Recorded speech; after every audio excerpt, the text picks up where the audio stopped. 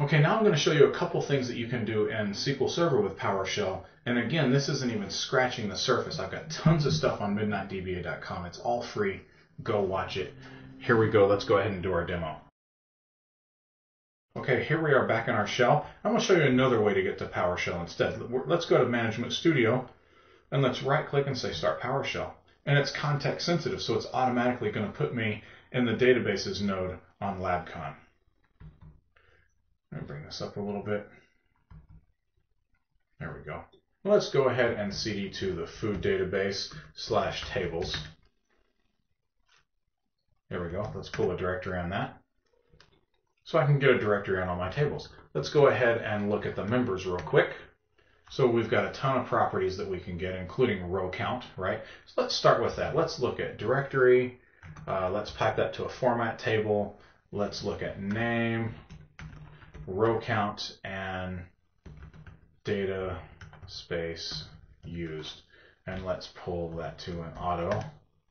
There we go. So you can see how easily I can get space information. I can also do something else really cool. I can say directory. I can pipe that to a for each loop. And for each one of those, I can script it. And there we go. I've scripted all of my tables. Now, all I would have to do to make that useful is to pipe that to an out file. Well, I suppose we could go ahead and do that, right? So let's take that and let's pipe that to out file, right? And uh, let's make that C colon backslash PS slash foodtables.txt. Why not? There we go. And if we come here, we've got food tables.txt and we've got all of our tables scripted out. And the exact same thing holds true for the for the stored procedures. All I got to do is go to the stored procedures node instead of the tables node, and I can script all that stuff out. So let's say uh, let's go up a level, just like in DOS. Now let's cd stored procedures, and now I'm just going to hit the up arrow a couple more times. Let's change the name of the file to SPs. There we go. And here's my new file with the SPs. And I've got whatever SPs I've got in there. I've got them scripted out now.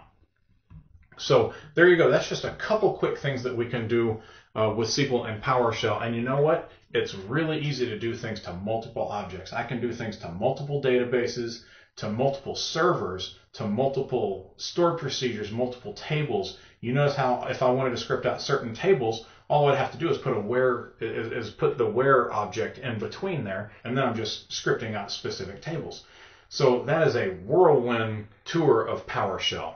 There's a lot more to learn. There's a lot more in there. Uh, I didn't get a chance to show you hardly anything that, that we can do, but trust me when I say that the big deal is that I can do things on every single database on my instance a lot faster than you can do it on a single database simply because PowerShell makes it so incredibly easy. So learn your PowerShell, stick to it. It's going to take you far. It will allow you to administer hundreds of boxes by yourself if you're good enough at it. And you can do tons of things that are so much easier to do in T-SQL. Uh, there are lots of resources out there. Plenty of people are blogging on it. I'm making videos. There are other people making videos. So go become a PowerShell expert and make it a real part of your SQL Server repertoire. You honestly owe it to yourself. You'll get to lunch on time a lot more often if you can do things this fast.